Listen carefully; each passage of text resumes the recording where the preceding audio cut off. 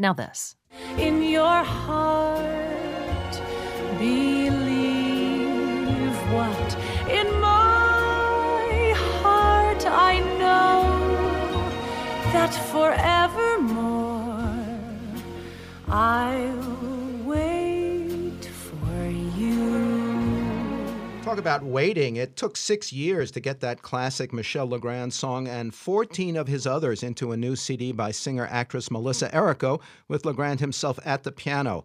Early reviews note its rare sense of scale, quote, a passionate kiss backed by a 100 piece orchestra. Just one rave given to Errico's Legrand Affair CD from Ghostlight Records, with familiar Legrand masterpieces including What Are You Doing the Rest of Your Life, The Windmills of Your Mind, The Summer Knows, and You Must Believe in Spring. Errico was no stranger to Legrand's legendary career. Raised on his movie music, she later co starred in Legrand's short lived Broadway musical Amour, earning a Tony nomination for her performance and prompting Legrand himself to propose collaboration on the new CD. To talk about the process and the final product for Your Ears Only, Melissa Errico is on the line now. Welcome to our show. Oh, hello. You've been a fan of Legrand forever. Your father is a pianist who played his music for you as a child. What was it like to actually meet the man and then work with him on Broadway prior to making this album? Anything that surprised you? I remember hearing about his Broadway show. I was living in California at the time, and I had done many Broadway shows already. My manager gave me a fax, and she said, There's a. Um, fax that came from New York. I don't know if this interests you. And it says, oh, there's you'd have to go back to New York. There's an audition for a musical that's coming over from Paris, and it's um, called Le Passe Muraille, which means the man who walks through walls. And they're going to change it, give it an American title or something. But, but anyway, it's going to be this beautiful little Broadway show. And so I was reading this fax, and I looked, and it said music composed by Michel Legrand, and I swear the fax started to glow in my hand. it, it was like it was like it was it was on fire. My hands were burning. And so I flew to New York, got the part, did the Broadway show. The Broadway show was a thrill to do. There was a lot of feedback during the during the Broadway run that Michel um, should write more songs for my character. So right away we were given the great opportunity um, of having to run into the music box lobby with where there was a piano. There's a famous piano in the basement lobby. Music Box is a theater. Music Box Theater on Broadway. And Michel would be, oh, Melissa, Melissa, come, come, come. I want you to hear this. I did this last night. And he had an idea, you know, and he would play. And I was thinking to myself, I mean, I have every Sarah Vaughan, Barbra Streisand, Johnny Mathis, Bill Evans. I have all that stuff. I love his recordings and I love those songs. And there I am sitting with the guy, those eyebrows, you know, the whole thing, the glasses. I'm dying, you know. And he's playing me these songs and, and uh, Melissa, Melissa, what do you think? And I'm, oh, I'm just gonna pinch myself.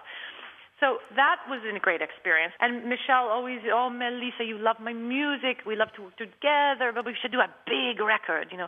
And so we made a plan to get together and I could not believe my good luck. Um, and he did. He came to my apartment. We looked through the um, through his music. I admit that um, I'm not one to uh, take something like this very lightly, and I prepared for for his arrival by finding all the cuckoo people in New York who really know Michel Legrand, and he's a very prolific writer. And I found hundreds and hundreds of his songs, not just his songbooks, but songs that were left on the floor, you know, at a movie studio that were thrown out of movies. And I had m- songs Michel had no idea he wrote. He's looking through this thing with me when he arrived at my house. Melissa, what is this? Oh, I don't remember this song.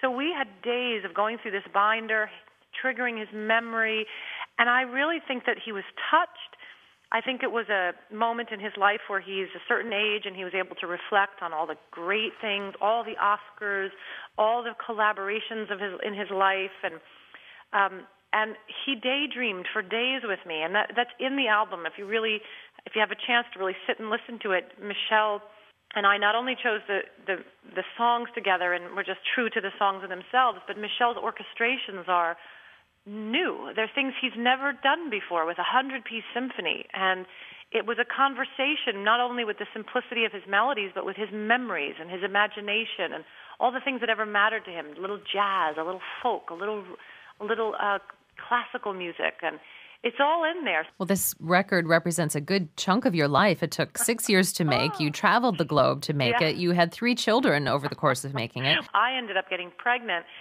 right after we did the symphonic recording, and um, I don't find pregnancy that easy. Uh, in fact, uh, it was like I got hit by a truck. it was hard for me physically, and I, I I did not finish my vocals right away. I had a child. I there's no way you can keep working when you have your first baby. You know, I mean you can, but it's it just wasn't it wasn't um some I couldn't just throw the record into the world. I had I just took some time away from it. And as I got more let's say I was I would be overwhelmed by children or frightened or anticipating and then I'd think of all the songs that had anticipation in them or or wishes or a song like something new in my life where people are wish you know where the song wishes for something new. And I thought oh now I can relate to it. And then I have the child I got more calm and more settled. I felt more mature. I felt responsible. I felt sensual and loving toward my daughter. Then all the songs started to feel different to me again. Then I had more children. I felt more mature, older, uh, richer, blessed, humbled. And the songs em- com- embraced all those thoughts. So in a weird way, I kept, I did the record a few times because I kept thinking I hadn't given it, who, I kept saying I, who I am. Um, and I think that um, uh, the version that's done is a, a wonderful document of the person Michel loves and knows and collaborated with, but also the person that I'm becoming. Singer actress Melissa Errico. Her latest release is Legrand Affair, the songs of Michel Legrand, with Legrand himself at the piano, out from Ghostlight Records this month. The summer smooths the restless sky and lovingly she warms the sand on which you lie.